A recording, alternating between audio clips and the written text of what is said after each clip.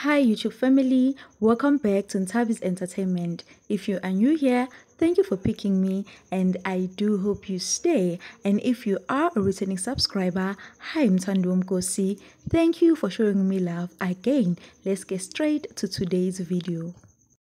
Congratulations to Katlego Maboe as he will be returning to the Expresso show on the 8th of August 2022.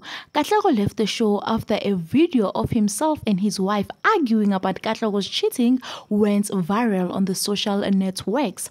Fans have been battling to get Katlego back to the show for a long time. Finally, their prayers and wishes have been answered as Katlego will be back on the show again. The Expresso wrote a statement and released it on their social networks stating that Katlego will be back again on the show starting from the 8th of August 2022. Congratulations to Katlego. Mm, everyone does deserve a second chance indeed. Thank you for watching. Don't forget to like, subscribe and share. See you on my next one.